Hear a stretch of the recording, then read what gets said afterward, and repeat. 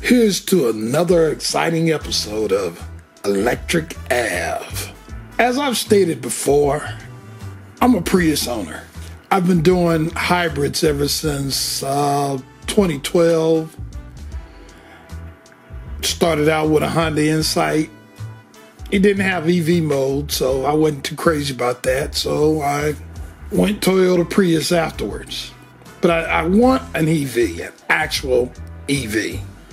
Well, today I'm in the store looking around because, you know, it's Christmas season. You start seeing Christmas things on the shelves and the signs and all that kind of stuff. It's not Thanksgiving yet, but yet you're seeing all this Christmas stuff.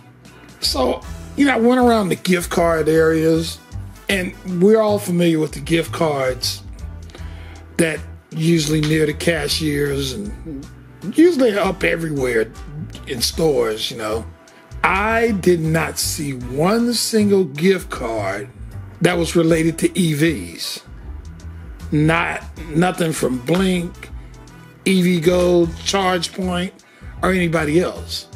Now, you'll see gift cards for Shell or uh, British Petroleum, Arco, and a few others the gasoline related ones, but not anything for EV. Now, are they out there and I just haven't seen it? As far as I'm concerned, they're really not out there. And at this point, I kind of think they should be. I mean, come on, you're slowing down the infrastructure. You're slowing down the infrastructure. But I don't expect to see nearly as many EV gift cards as I would for gasoline, but I thought I would have seen at least one at this point. I did not see one. And when I become an EV owner, you know, I wouldn't mind getting a, a gift card, $10, whatever. Somebody gave me a gift card and I could put some kilowatts in my tank. I'm cool with that.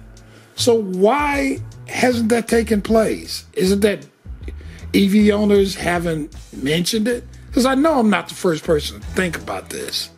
Why are there no EV gift cards, charging gift cards on the racks, on the shelves? Can somebody answer that question? Because I'm kind of curious. It just seems like to me it would be out there. But that's my my two cents about the matter. There has to be EV gift cards out there somewhere. But I damn sure didn't see them in stores. I live in LA, and you know, California is looked upon as a place where most of the EVs are in the country. I bet in Norway they would have them, so why wouldn't they have them here? Just something to think about, guys. Just something to think about.